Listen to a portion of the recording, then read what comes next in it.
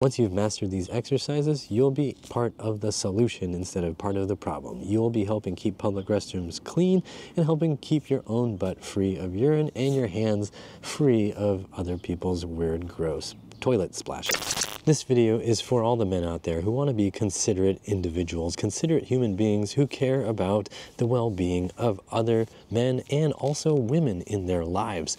If you're a man who doesn't want to pee all over a toilet seat, but you find you don't have the physical ability to do it properly or safely in a public restroom, in today's video, I'm going to help you out. This video is going to help you stay cleaner, healthier, and live longer, happier lives. And it's going to help you have a happier girlfriend or wife because you are one of those guys who knows how to lift up the toilet seat. Well, at least you know how to do it and hopefully you put this into practice. So if you're ready, let's get ready to think right, move right, and feel right.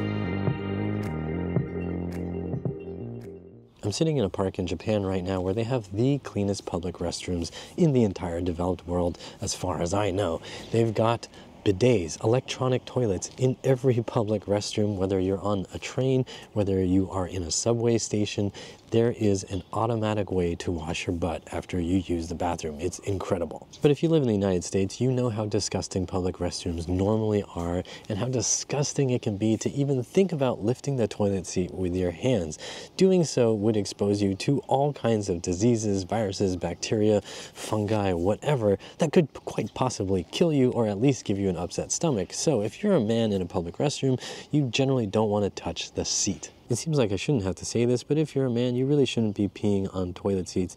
It's rude, it's inconsiderate, and one day you might need to be sitting on that toilet seat. Now, all the women out there watching this are probably thinking, seriously, do guys pee on toilet seats intentionally? That's kind of gross and short-sighted, isn't it? And the answer is yes, it is gross and short-sighted because those very same men might one day have children of their own that they need to put on the toilet seat, or they themselves might need to actually use that toilet seat, and then that karma really sucks. If you are a considerate man who wants to lift the toilet seat before you pee in a public restroom, well, you better be able to do it with the trick that I'm going to show you in this video. Instead of using your fingers, your poor, poor fingers to actually lift the seat, which I would never do, you use the side of your shoe, you use your foot to actually lift the toilet seat.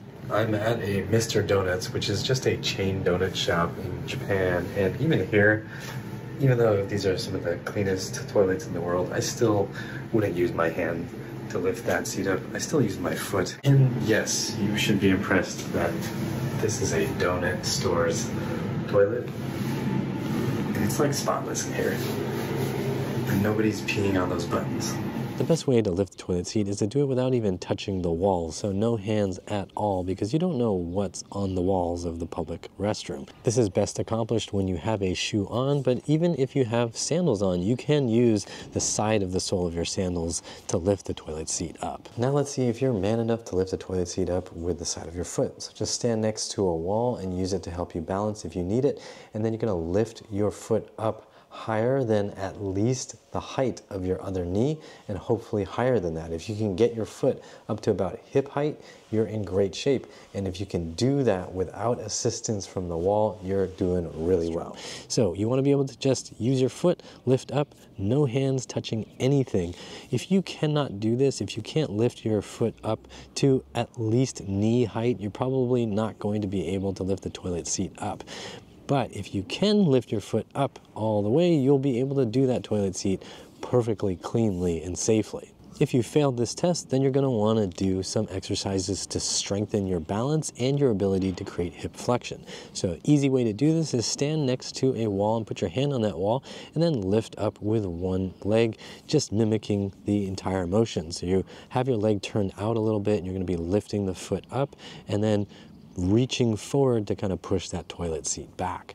Now you want to practice this five to 10 slow controlled repetitions on each leg and make sure you do both sides just in case you end up in a toilet where you don't really have the use of your dominant leg. Seriously, you never know what could happen in a dirty public restroom. Hey, I want to take one second to say a huge thank you to Deborah, Deborah, and Jonah for their generous donations via my website at uprighthealth.com slash donate. You can go there too if you want to support this channel too, I would really appreciate it. And while you're there, you can also get a free course with free follow along workouts and free information to help you rebuild your body at home.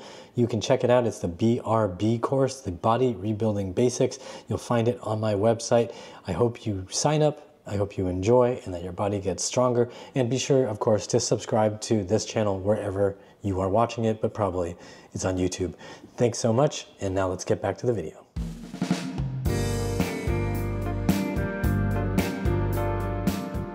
Do one to two sets on each leg, and when you first start off with these, I'd suggest doing that two days a week, so Monday, Thursday, or Tuesday, Saturday, and then over time you can just bump up the frequency as it feels comfortable and doable for you. If it feels like you can do more, absolutely do more, and then work on getting your leg up higher and higher in case you end up in the land of giants, like I assume Norway probably has really, really tall toilets with toilet seats that are above my shoulder. As you get better and better at this exercise, stop using help from the wall, and then when you want to make it even harder, harder, do longer holds at the top position.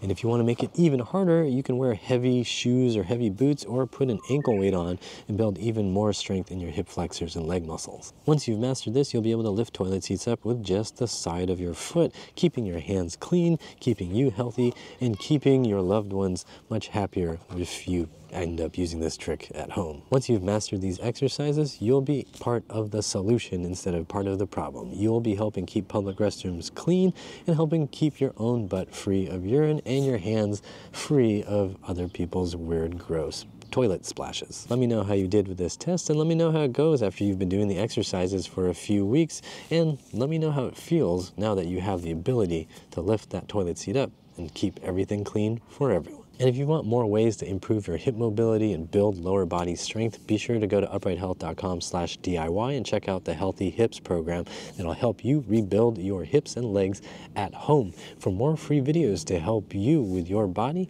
be sure to check these out here. Like, share, and subscribe with the bell notification on. And as always, I hope you remember that pain sucks, life shouldn't.